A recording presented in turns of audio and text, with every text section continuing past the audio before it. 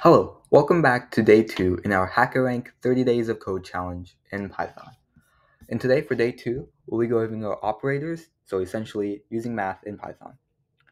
Our task for today is that we'll get a meal cost, a tip percentage, a tax percentage, and we'll have to calculate the total cost for a meal.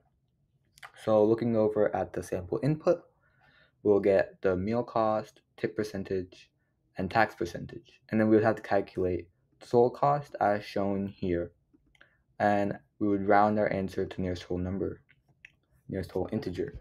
So how our code look, is working right now is that we have a function called solve, and that function would need would get three parameters or inputs essentially, and we'd be using those inside our um, function to calculate the total cost. So first, let's calculate our tip. So we're getting a tip percentage, so we'll get the number. So tip is equal to the number we get, and since it has to be a percentage, um, we would divide that by 100.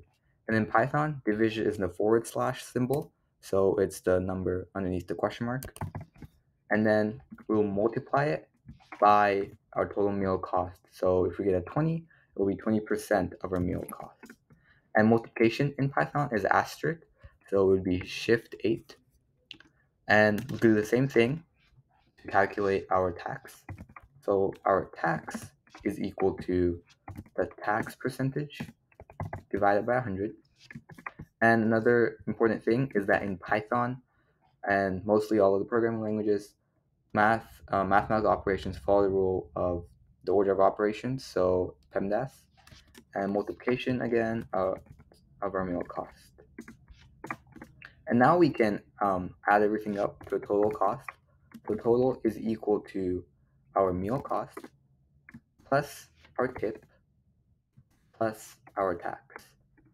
And we also need to round our total to its nearest number. So to round that, there's a function in Python called round.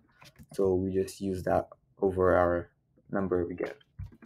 Now let's print it so far and see what we get. Okay, so it passed the test script test case.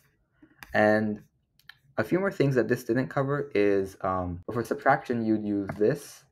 And for exponents, you'd use a double asterisk. See you in day three.